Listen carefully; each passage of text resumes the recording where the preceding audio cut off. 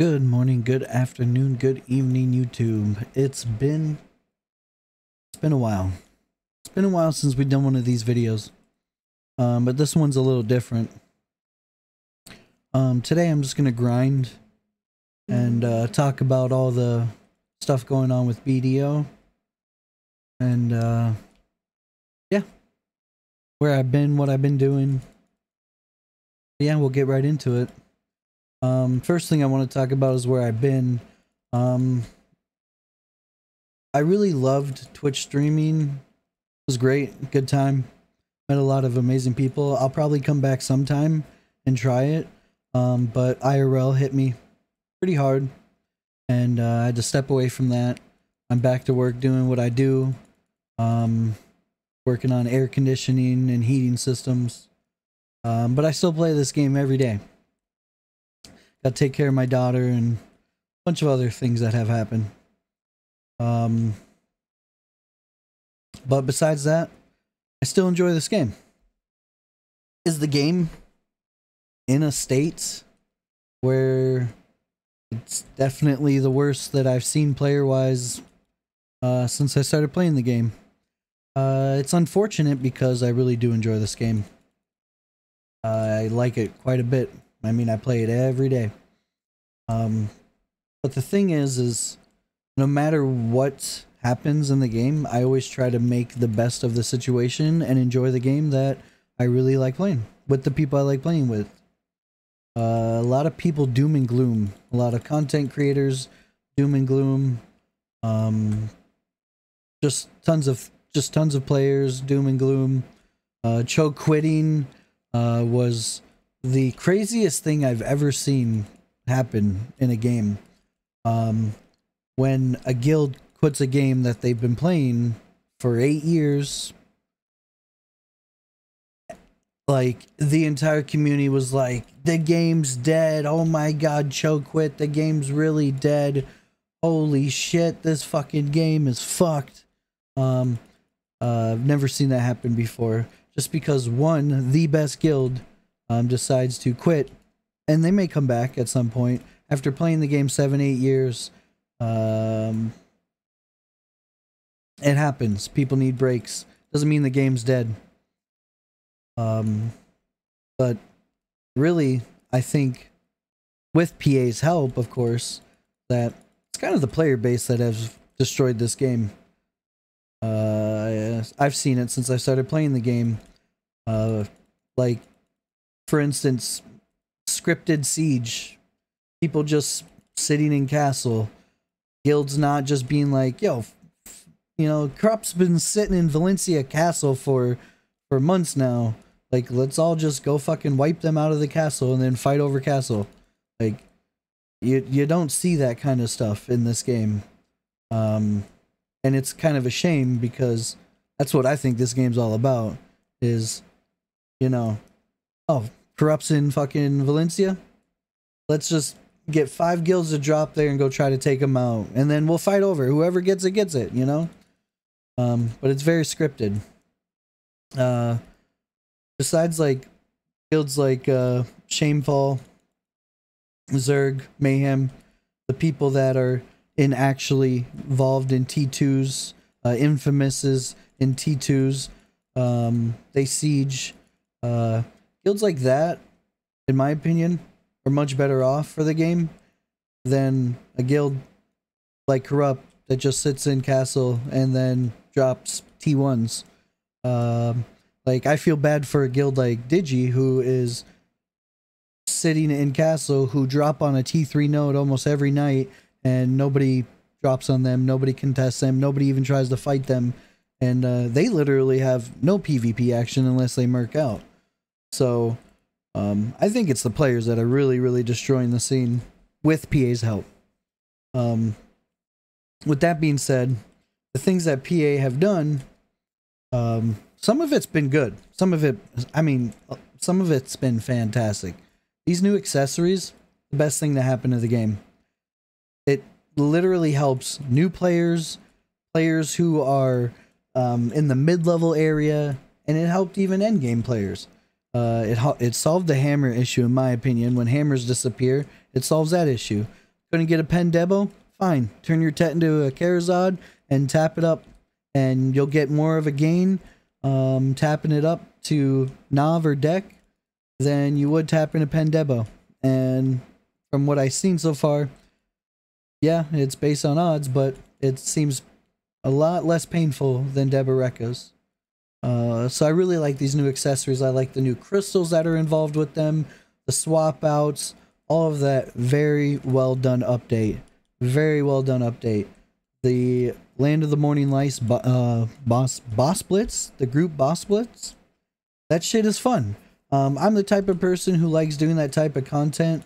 Uh, like not too often. I like doing it like once, killing the boss on like hard mode, and being like, yeah, I killed it on hard mode. Uh, rewards are juice as shit though, so that's why you know I try to still keep doing them. Um, so yeah, really good content, group content, and really good rewards. W from PA for that. Uh, sovereign weapons to me are kind of a hit or miss. Um, I think it was uh, done wrong. I thought they were in the kitchen cooking, and then they caught the kitchen on fire. Because um, to me, I have a problem with PA when they make promises uh, to the community, and then they just break promises, or they just scrap ideas, or they just fuck something up. Uh, for instance, uh, one of them is uh, our Black Star weapon color changes. Where the fuck did they go? Why did why did we not get those? Oh, it's because they're making sovereigns and they're like, hmm, sovereigns. Cool. But then they make sovereigns, which are neat weapons and look super cool, but they fuck it up entirely by making it so that you only see the glow on pen and on oct. Instead of being like, hey, every enhance is a brighter glow. Like they did with the Black Star. Which is fucking stupid. So now we're going to get these sovereign color changes. And my guess is they're going to monetize the shit out of that. Because they saw the fucking people in the community like, yes, yeah, sweet, awesome. Different weapon colors for my Black Star. Yes, that sounds awesome. Now they know they can make money on that. So I doubt we'll uh, we'll see that. Uh, maybe one color for free and then have to pay. Who knows? I'm speculating. Um, but yeah, so PA's kind of like gone downhill for me. Um, after they started putting the crystal restorations in the pearl shop, I thought that was a very shitty thing to do instead of reworking or redoing or fixing the problem that players are having. Um, it's not so much of a big deal now as it was months ago because a Giran's crystal is worth less than a bill. Like, like look at this, you know. But they already got all their money from all the people who bought those restoration months ago, you know. So I think that was a scummy thing to do. Another thing, the Halloween event this year. Um, very very lame event in my opinion um, i thought it was very predatory for them to put the drop rate cookies in bundles on the pearl shop. That's kind of scummy. Last year it was my first second month in. Halloween was amazing. They had this whole zone for halloween. It was the marnie zone. You go there you get your 10 hour buff. You do your daily mini games. You get drop rate cookies for free. You go out there and then you grind for 10 hours and then the next day you do the same thing, you know? And then there's two bosses. Um which is okay. It's a great boss, but um good good drops like the furniture is great and all, but for them to put the drop rate cookies in bundles in the Perla shop, very predatory. Do not like that at all. Which brings me to these new scrolls that are also in a bundle right now um, that give you a 100% drop rate and uh, basically an Agris coin combined. Um, very predatory, very shitty thing to do when that's something they can give out or something we can earn in game. Um, you know. So um, these Gamba boxes, um, some are okay. Like I've opened, um, I've opened a few of all of them, uh, at least to just see what there's worth. Uh, during the Sovereign time, the Gamba boxes were absolutely amazing. Other times, the Gamba boxes are very predatory and very shit um, rewards. Um, unless you get super lucky. But I mean, that's the point of Gamba boxes. But that's up to the player if they want to pay for those or not. Um, what's upsetting is for players who uh, don't spend a lot of money on this game and can't get a value pack or a blessing or a Kamasylvia, um, Pearl Abyss does not really do good deals for those. Uh, they're always full price for what it seems. Uh, kind of scummy. So, um, yeah, those are the you know things that uh, I really dislike that I've seen PA go downhill with since I started playing the game. But I've seen them make do a lot of good things as well. I've seen them uh, make a lot of good changes, making it easier for new players to get geared to catch up by giving out a free uh, Dream Horse to every new player, free Pen Black Star, free Tet Black Star, um, super cheap to get boss gear now. Kharazad accessories are available to newer players too. You can go and grind a zone with 270 AP and, you know, get the stuff to tap them, like get the crystals. Like they did a really good job for retaining players. Um, the updates lately have been pretty good.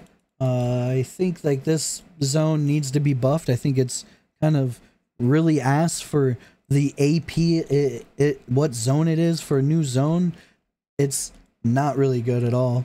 Uh, it was way better in Global Labs, and they nerfed it really, really hard. I think a little too hard. As you can see, I'm probably the only person grinding here. Um, but other than that, all these new updates, they've been really good. Uh, they need to make changes to the Node War system.